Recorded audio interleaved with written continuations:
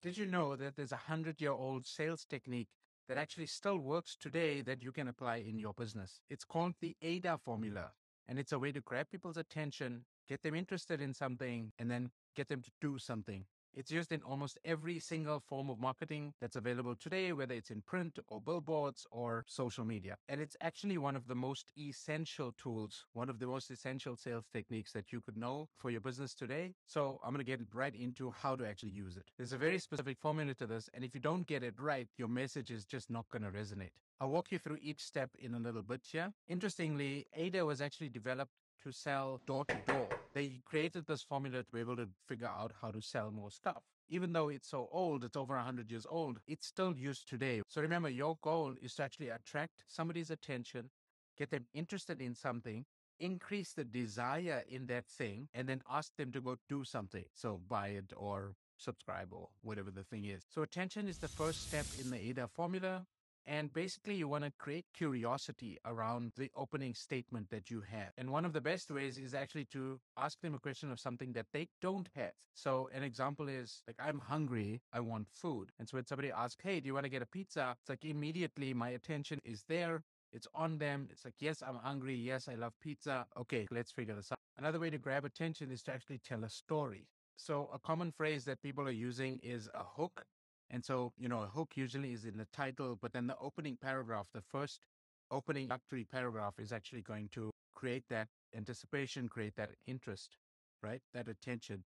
And so what you're going to do is maybe you're going to tell a story or start by telling a story. Did you know? Hey, once upon a time, you know, you're opening up with a story and you're leading people down a journey. Another way to do this is to use numbers or facts or statistics where it's like some amazing number. Oh, did you know that there's 5 million minutes of video that's uploaded to YouTube, right? Like, my goodness, that's a lot of, I don't know if that's actually factually correct, but you get the point. It's like big number, interesting fact around like, oh, wow, there's so much going on. Another thing you could do is be controversial, like create a little bit of controversy to get people to like, oh, wait, why is this person saying this? Or wait, this doesn't make sense. What, what is this? The second step in the formula in AIDA is interest. And so I said, you want to get somebody interested in the thing that you're talking about. So one way you could do that is to actually give people a reason as to why the product or the service that you have is valuable, right? Make them see how it's going to help them change their lives, make them see how it's going to make a difference to their lives, make them see that this is a thing that's actually, you know, something that's relevant, something that's needed, something that would help change. The next step is desire. And so how do you increase the desire? So using the pizza example, if you ask your friend or your partner, like, hey, do you want pizza as the attention grabber? The next question could be, like, hey, we haven't gone to this specific restaurant that we know has really great pizza.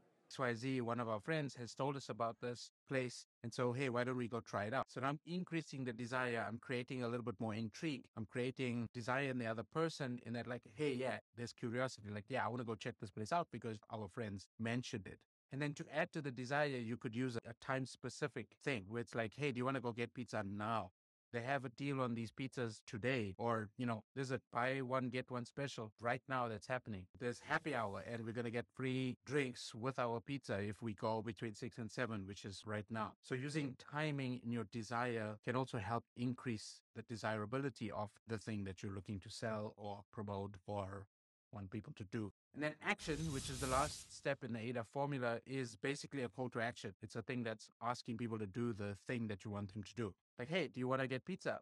Let's go to this specific restaurant. It's got a really good deal. It's a buy one, get one free special today. And you know what? Mike and Jenny was talking about this restaurant the other day. They said it was really great. Like, would you like to go? So the would you like to go is the call to action, right? You're asking the person, you're asking them for, to make a decision. That's what a call to action is. That's the AIDA formula, and you can use it in anything that you're using. In fact, I'll be honest, this particular video was created using the AIDA formula. If you go back and watch the intro, you go or watch the structure, I used the AIDA formula in the first opening minute or two. There's also landing pages where your headline and your subheading is creating the action, creating the desire, creating the interest, and the button that's there to sign up or learn more or whatever is the actual call to action. It's like a very short, small section where AIDA is applied. AIDA is used typically in ads to create that awareness, that attention, that interest, that desire. Apply this formula to your marketing, to your social posts, and see how it goes. It's not going to work every single time because Maybe you don't want to, you know, structure your messages in a very direct way or in such a short way. But definitely one thing that you can do is test it see how it works, apply different things, try multiple call to actions, try multiple desire points, try multiple interest points, find different hooks to actually grab people's attention. It's one of the best ways that you can, and one of the fastest ways to actually build your business. So definitely subscribe to the channel if you want to learn more formulas that work either in copywriting or in sales or even just in terms of building your landing pages or your websites. Because yeah, I'm going to be featuring more of that content soon. Thank you. Bye.